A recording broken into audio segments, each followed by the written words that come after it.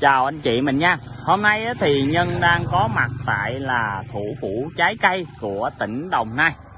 Là anh chị mình biết là Nhân đang ở đâu rồi nha.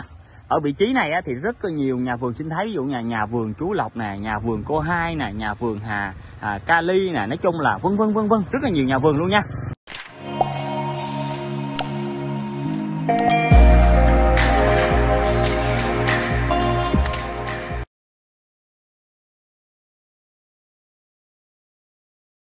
Thì à, nhân cũng nói chung luôn hiện tại là nhân đang có mặt tại là ấp cây gia xã bình lộc thành phố long khánh tỉnh đồng nai. Và hôm nay thì nhân gửi cho anh chị mình một miếng đất để về làm nhà vườn nghỉ dưỡng nha. Thì miếng đất của mình có tổng diện tích là 1.250 mét vuông. À, đất của mình thì à, hiện tại là đã có rào lưới ranh giới rõ ràng. Và đất của mình đang trồng là măng cục với chôm chôm đang có thu hoạch nha thì à, miếng đất này chủ đang kêu với giá là 1 tỷ 6 ngày trước á, thì à, thời điểm sốt á, thì chủ mua đâu đó là hơn 2 tỷ. Nhưng mà bây giờ thì à, chủ cần bán để à, xoay sở công việc hay là để làm cái gì á, nhưng cũng có biết nha. Nhưng mà hiện tại thì à, chủ nhờ nhân bán nha. Thì à, miếng đất này hiện tại á, thì có mặt tiền bê tông là được đâu đó là 42 mét.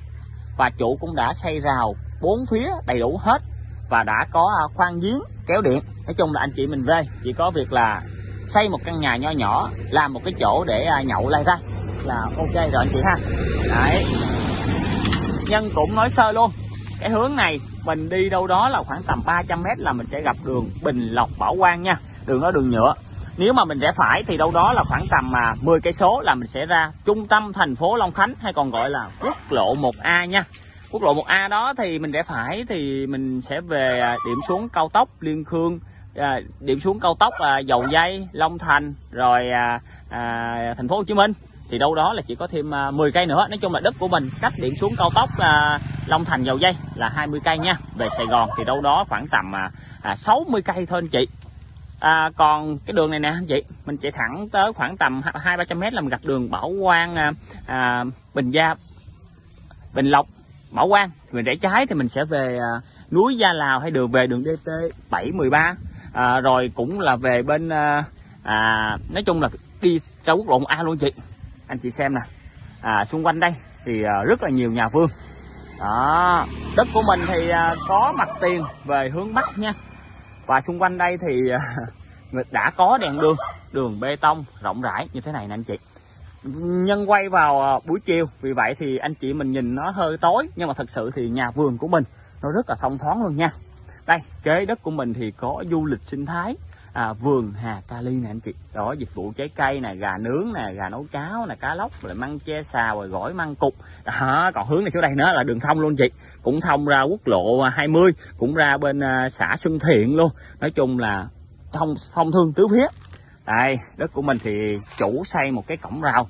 À, rất là dễ thương luôn nha. Rồi hiện tại thì à, trên đất của mình á thì trồng đâu đó thì à, khoảng được mười mấy cây măng cục. Mà măng cục này à, hiện tại thì đã có thu rồi nha chị nha. Ngoài ra thì chủ còn trồng được đâu đó là một hai ba bốn năm sáu bảy tám nói chung khoảng chục cây. À, chôm chôm. Chôm chôm này thì đâu đó cũng khoảng là hơn 20 năm rồi anh chị. Đất rất bằng phẳng và sạch sẽ luôn nha. Thì chủ cũng đã à, à, khoan giếng kéo điện rồi. Anh chị mình về là chỉ có cờ là xây một cái căn nhà nho nhỏ thôi. Làm một cái hồ cá hay là một cái bể bơi. Rồi lúc đó là mình có thể là à, tha hồ để à, nghỉ dưỡng cuối tuần nha. Tại vì cái vị trí đất này nè anh chị nó cách sân bay Long Thành thì đâu đó khoảng từ 15 cho tới 20 cây số thôi.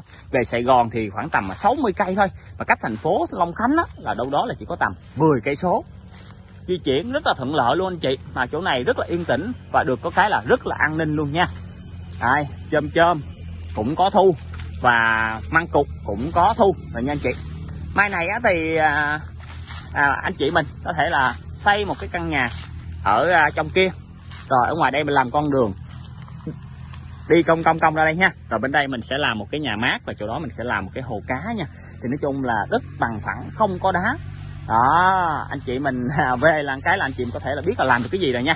Thì nhân là nhân chỉ nói theo ý của nhân thôi. Và hiện tại thì trên đất của mình thì à, có khoảng thêm hai, ba cây mít như thế này. Và mít này thì cũng đã có thu hết rồi và ở cuối đất của mình thì à, chủ có à, khoan một cái giếng và chủ cũng có à, kéo điện rồi. Đó kéo điện khoan giếng đầy đủ hết rồi nha. Nói chung là ngày trước chủ mua về là chủ cũng tính là để làm nhà vườn để ở. Nhưng mà bây giờ à, chủ không ở nữa nên thôi chủ kêu bán lại nha. Đó cái chỗ này thì nó hơi cong cong lại tí. Nó nở ra ha nó nở ra. Đó nói chung là nó mở ra.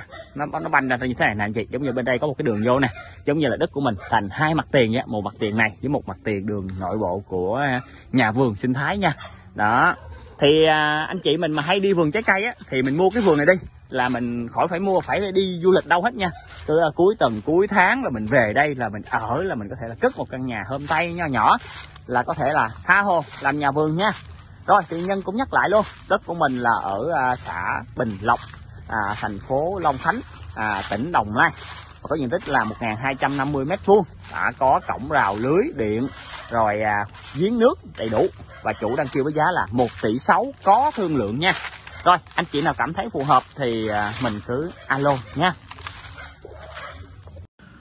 Anh chị mình vừa xem à, một cái à, miếng vườn trái cây rất là đẹp ha được quay bởi bạn nhân. Đấy. Thật sự là theo mình thấy là cái vườn này phải nói là chỉnh chu luôn ha. Tại vì Long Khánh thì là một vùng đất chuyên về nghỉ dưỡng. Đó, anh chị thấy là đây là cái hình đất mình nè. Thì cái đất này á, là nó sẽ có lợi thế là mặt tiền rất là nhiều ha. Chính xác là mình được 43 mét là cho với 42 rồi nha 43 mét. Đó, nên là chị khi mà nhìn từ phía ngoài vô, cổng rào rất là đẹp, đúng không? Đó.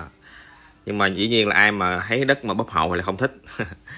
Rồi, thì chị thấy dân cư rất đông, đúng không? Cái hướng này là hướng đi à, về hướng xã Xuân Thiện bên phía à, thống nhất và hướng về à, định quán ha à, định quán à, về phú túc la ngà. À, loại mưa đó chị. Đấy, thì hướng về chợ Xuân Thiện là khoảng tầm 3 cây hơn 3 cây. Còn hướng này nè hướng này sẽ về à, trung tâm xã Bình Lộc ha. Trung tâm xã Bình Lộc và hướng về trung tâm Long Khánh luôn. Đó trung tâm Bình Lộc thì nó sẽ xa hơn chút. Như vậy thấy là khu vực này ha chọc theo tuyến đường bê tông á là dân cư rất là nhiều ha. Đấy, và nhiều khu nhà vườn sinh thái à, phục vụ cho du lịch. Đó, khu này là chuyên về cho vú trái cây mà chị nên anh chị thấy là dọc cái tuyến đường bê tông là nhà đó, và bao quanh chính là cây xanh ha. À, chính là những cây vườn cây ăn trái. Đó, nào là chôm chôm măng cục sầu riêng. Đó. Nói chung là có cái vị trí này và đất mình đã được xây tường rào hết rồi đó. Chị mình về dựng một cái ngôi nhà dạng như lắp ghép. Đó là mình sẽ có một cái nơi nghỉ dưỡng phải nói cực kỳ lý tưởng luôn ha. Thì Long Khánh theo mình biết là rất nhiều người thành phố ha à, thích. Tại vì nó tiện đi cao tốc đi về Hồ Chí Minh. À, nếu mà đi cao tốc thì chỉ tầm hơn một tiếng hồ là mình đã tới được cái khu vườn mình rồi. Đó chị thấy nhìn tay ca mà cái khu vườn mình rất là đẹp đúng không? À, khu này nè xanh mát luôn. Rồi bây giờ là mình xem pháp lý đi nha. À, nói chung là giấy tờ mọi thứ đều ok. Đây là mình mời anh chị à, xem sổ ha. Đây. Đấy, địa chỉ là ấp Cây Gia, xã Bình Lộc, à, trực thuộc thành phố Long Khánh, tỉnh Đồng Nai. À, diện tích là 1.248,8, nói chung là xuất sắc là 1.250 rồi ha. À, nói chung là một cái diện tích rất là lý tưởng để làm cái nhà vườn à, nhỏ nhỏ xinh xinh. Thì đất mình hiện tại là chưa thổ cư vậy nha. Đấy, đất cần trồng cây lâu năm. Đó. Nên là với cái đất này thì hay mình nghĩ là anh chị à, làm những dạng nhà cấp 4 đơn giản hoặc là nhà à, lắp ghép nhà tiền chế ha à, nhà gỗ thì sẽ phù hợp ha Đấy. rồi đây chính là cái nhà đất mình anh chị à, nó chính xác là mình được tới 43 mấy mặt tiền à, nó à, chị thấy không thứ nhất là nó do nó cong theo đường thứ hai là nó loe ra ha. Cho là mặt tiền mình rất là nhiều à, cũng có một ít lộ giới à, mở đường xíu. Đấy cho là phù hợp anh chị nào thích mặt tiền nhiều mà mình hả nhìn cái đất mình nó sáng. Nói chung là nhìn từ ngoài vô là thấy cái mặt tiền nhiều mà hả, xây tường rào nhìn đẹp như thế này thì nhìn nó, nó sang đất mình ha. Đó và cuối cùng thì mình sẽ mời chị xem phần thông tin quy hoạch cũng như là cái vị trí của đất mình trên bản đồ vệ tinh để chị mình dễ dàng hình dung ha. Đây là đó, đây là đất mình ha. Đó, và những thông số uh, đất nè. Đó hiện tại là nguyên khu này luôn ha. Chị thấy không? Nguyên một khu này là quy hoạch đất trồng cây. Thì khu này là chuyên trồng cây ăn trái. Như chị cũng thấy rồi đó trên bản đồ vệ tinh nè. Đó là nhà cửa san sát. Vậy không? Hai bên đường nè. Đó, nói chung là khu này nhà nào cũng ờ, không có thổ cư cho nhà nào cũng đất đang trồng keo năm. Đó, quy hoạch là đất nhà vườn. Đó, nên là à, anh chị hoàn toàn thể à, cất cái nhà cấp 4 hoặc là nếu anh chị mình gọi là ngại vấn đề pháp lý thì thôi mình cứ à, làm nhà dạng như là lắp ghép. Thì bây giờ mình thấy là có những mẫu nhà lắp ghép cũng rất là đẹp nha anh chị. À, và pháp lý thì sẽ ok hơn. Đó. nhưng mà thực sự là ở đây mình nghĩ xây nhà 4 thì thoải mái thôi. À, xung quanh họ xây nhà 4 quá trời luôn thấy không? Đấy rất là đông dân cư luôn. Đấy thì cái hướng này mình trên tay cam mình thấy rõ đó. Hướng này mình sẽ đi về hướng trung tâm của à, đây xã Xuân Thiện nè ha. Mình cách đây khoảng tầm à, 3 cây ha. À, khoảng tầm hơn 3 cây số. Nói chung là mình nếu đi chợ lớn á, thì mình thấy gần nhất là chợ Xuân Thiện ha. Còn à, thì cái hướng này đồng thời là mình sẽ đi ra bên phía Phú Túc của loại 20 La Ngà đó anh chị. À, để mà đi về thành phố à, Đà Lạt cũng được ha. Đấy. Còn hướng ngược lại là hướng đi về trung tâm xã Bình Lộc đây ha đấy ngay cái trục đường Lê A đó anh chị. Thì ngay đây thì có hai khu nghiệp là khu nghiệp Long Khánh và khu nghiệp Suối Tre. Đó, và đồng thời là hướng về trung tâm của thành phố Long Khánh. Nói chung mình mình cách trung tâm của xã Bình Lộc á chợ Bình Lộc á là đây khoảng tầm hơn 4 cây.